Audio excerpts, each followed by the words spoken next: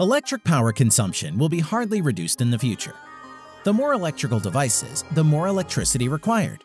Indeed, the price we have to pay for our comfort gets higher. However, some innovations are aiding to save non-renewable resources to some extent. This video features the smartest and the most original ones.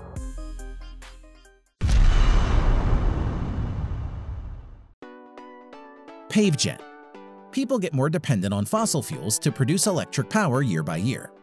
Resources don't add up while the power consumption keeps increasing. The problem was of great interest to Laurence Kemball Cook as early as in 2009 when he was a student of Loughborough University. In 10 years, he managed to create the PaveGen company. It manufactures sidewalk tiles that can convert pedestrians' energy into electrical power when they are walking on it. The tiles are made from recycled abrasion-resistant automobile tires. When stepped, the tile surface suppresses by 0.2 inches, inducing the inbuilt transducer to generate electrical power. The energy can be used for sidewalk lights or accumulated in lithium batteries. The company's technology of this power generation is still kept a secret. Icewind Iceland City lights, municipal transport shops, pedestrian underpasses, sidewalks, and other urban landscape objects require lots of electric power. Besides, controlling their power consumption is rather difficult. The Icelandic company Icewind developed an extraordinary solution to provide electricity for urban objects using wind energy. The system can work efficiently only when the wind speed exceeds 7 meters per second. However, it is equipped with a braking system that prevents the turbine from rotating faster than 2 meters per second for safety reasons. Turbines are made from very lightweight and durable carbon fiber, the maximum power capacity of such generators ranges between 100 and 1000 watts depending on the model type. Kite Power Systems Using wind energy to generate electric power is not new. Nevertheless, it is relevant for North European countries and Switzerland in particular where strong winds are common.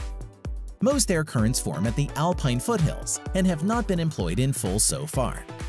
Besides, controlling the wind in Switzerland is a dubious venture doomed to no success.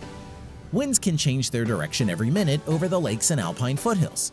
The Swiss company Kite Power Systems did manage to conquer the power of wind though. The first wind turbine was installed at the Alpine St. Bernard Pass. It was 295 feet in diameter, and the apparatus was 502 feet high.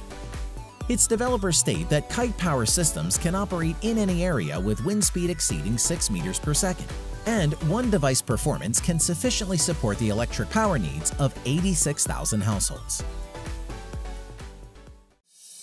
MeyGen Tidal Power Project Generating electric power from the energy of tides is way more difficult than the energy of wind. However, it never stopped the company MeyGen Tidal to construct a mighty power station with a capacity of 398 megawatts on the shelf between the ultimate north coast of Scotland and the small island of Stroma. Being only 11,154 feet wide, the site flaunts water energy enough to generate 86 megawatts of electric power. Developers proved that tidal power can be as productive as wind or solar energy, each turbine stands on a base weighing between 260 and 350 tons. At the same time, the ballast mass reaches 1,200 tons depending on the place where the turbine is installed. As a result, the system performance went beyond all expectations. The power is used by at least 2,600 households. Vortex Bladeless Any wind generator is potentially dangerous. The machine kinetic power is almost impossible to control, that is why such power stations are typically mounted in remote places. This problem was addressed by the Spanish company Vortex Bladeless. Such wind generators turned to be more efficient than traditional blade ones and required less time and money to install. Furthermore, the system does not actually entail large rotating elements. The working principle of bladeless generators is way more difficult, but its efficiency could never be denied. Vortex flows blow out a vertical generator, thus moving the power generating axis. Obviously, designers do not disclose technical details.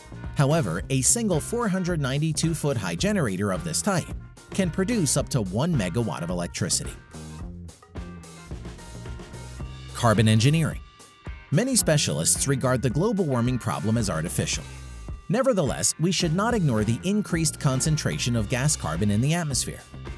Also, we can productively use carbon dioxide and significantly save on that. To be more precise, scientists estimate the price for one ton of carbon extracted from the air. It is around $100. The unique Canadian project, Carbon Engineering, targets not even making a profit on carbon, but to a greater degree, cleaning the atmosphere and reducing the civilization's impact on the global climate. The idea embraces the possibility to get carbon from the air. After the air is taken from the atmosphere, it is concentrated in the carbonate solution. Then decarbonization takes place, splitting the solution to pure gas carbon and ordinary lime. Smart Flower Solar Manufacturers of solar systems generating electric power state that the minimum area to supply electricity for the needs of one household should be at least 22 square yards. This is a significant fact to consider. Using the system Smart Flower Solar, we can forget about the total area of power generating surface. Here are the major reasons for that. First, the system tracks the sun's position. Second, it employs unique panels. These factors make Smart Flower Solar 40% more efficient than its competitors.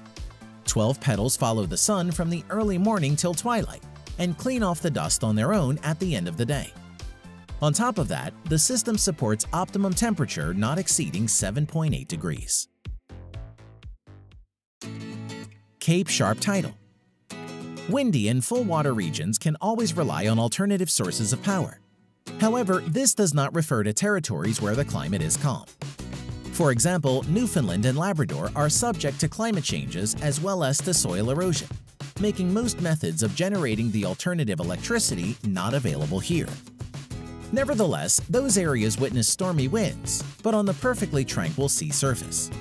Similar situation is common for Singapore, China, and Taiwan. No wonder that this question got the interest of Canada, washed by oceans from three sides. It was calculated that the average power capacity of a Canadian wave makes 37,000 megawatts per hour.